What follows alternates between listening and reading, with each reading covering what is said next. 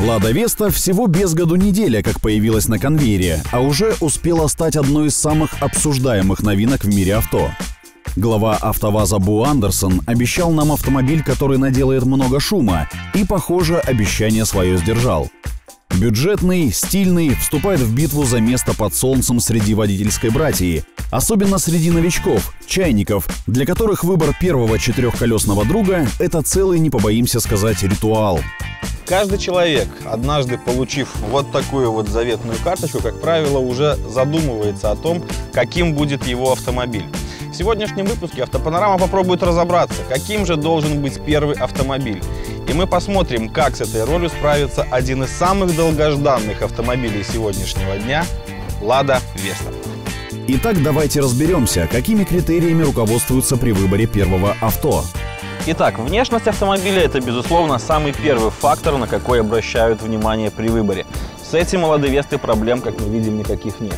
Смотрите, новая оптика, новая решетка, э, уже хорошо всем известная X-образная выштамповка на боковой стороне.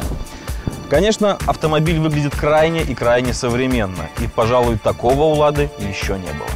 Выглядит Веста действительно привлекательно. Современная, слегка сужающаяся к центру головная оптика, широкая решетка с логотипом, а также выразительные линии бампера позволяют, пусть и с некоторым преувеличением, назвать облик Весты агрессивным. Кстати, X-образная тематика, X-Face, присутствует с каждой стороны. Спереди это хромированные молдинги на бампере, по бокам выштамповка на дверях. На корме полоски фонарей заднего хода и поворотников также имеют форму буквы X. Шильде на крышке багажника не хватает каллиграфичности, но в целом Веста выглядит отлично. Второе – это, безусловно, комфорт и практичность. Салон выглядит эстетично и современно. Эргономика не вызвала ни малейших нареканий. Водитель любого роста и комплекции легко найдет удобное положение. Порадовало глаз нанесенное на рулевое колесо шагрень, имитирующая вставки из перфорированной кожи. Особое внимание хотел бы обратить на обзорность. Здесь большие зеркала, все видно очень хорошо. И я думаю, что проблем здесь ни у кого не будет. Далее, устроился я, в принципе, очень удобно. Руль регулируется как по вылету, так и по высоте. Сидушка имеет тоже множественные варианты регулировок. Есть даже некий намек на боковую поддержку, но, как по мне, это всего лишь намек. И очень удобные высокие под, э, подголовники. Мне все нравится. Единственное, к чему можем придраться, не хватало подлокотника. Приборная панель выполнена в форме трех колодцев с утопленными в них шкалами и расположенным по центру экраном бортового компьютера. Читается все отлично. Для начинающих водителей полезной будет подсказка момента переключения передач. Приятно удивила Веста своими наворотами.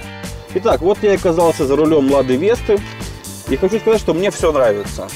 Материалы здесь ожидаемо об, об, обычное, но все подогнано, в принципе, все очень здорово. И смотрится все очень свежо, как ни странно. В магнитоле, например, есть голосовая связь, Bluetooth.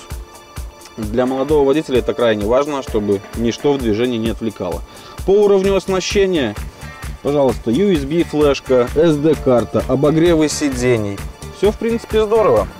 Особого, особое внимание хотел бы обратить на обзорность. Здесь большие зеркала. Помимо прочего, отдельно отметим полноценный обогрев лобового стекла и пакет электронных систем безопасности.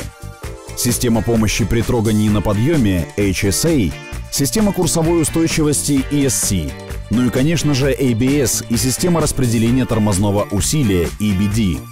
Подушек безопасности в Весте всего две – для водителя и переднего пассажира – все это – незаменимая помощь для чайников, да и для опытного водителя со стажем ого-го хорошее подспорье. Пересаживаемся на задний диван. Вот тут у нашего крупногабаритного тест-пилота появились проблемы. Усесться самому за собой получилось, но не более того. Места для колен не осталось, голова уперлась в потолок. Так что если ваш рост выше 185 сантиметров, садитесь вперед. Там с этим все отлично. Багажник не похвастается рекордными цифрами в классе, но свои 480 литров отрабатывает честно. Итак, поскольку это седан, багажник в этой машине, конечно же, есть. Но открывается он только либо с кнопки из салона, либо с кнопки из ключа. Конечно, это, на мой взгляд, не сильно удобно. Плюс крышка даже не отпрыгивает вверх, а просто отключается замок. Но в остальном же, в принципе, багажник здесь есть. Он достаточно вместительный. Поэтому единственный минус только его открытие. Теперь прокатимся. Как едет новая Лада Веста, мне тоже очень нравится.